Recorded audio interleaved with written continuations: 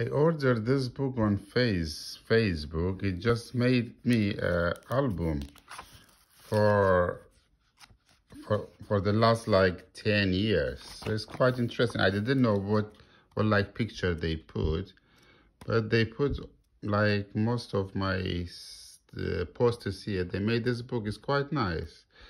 But I didn't change the photos, so it's just a random Facebook choice. So it's quite interesting to have the 10 years of Facebook in one album and the quality is quite good. You should try it actually.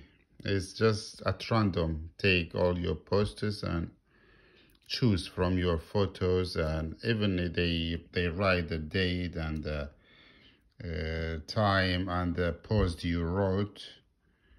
It's quite interesting for the for the record. But some pictures I don't want to be in it, but it's already in it, but it's all right. Like some pictures are not related to me, it's just the other posts that I did, but it's quite interesting. You should you should try. It's nice to have a really classic old style of album rather than digital because one day we go away, but uh, our Facebook or our uh, like digital computers will go away, but that kind of book will stay, right?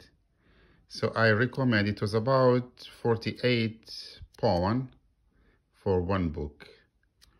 And it's quite cute though. But I'm I'm glad I did so. But some posts I didn't like like I didn't want that kind of post in it, but it just came.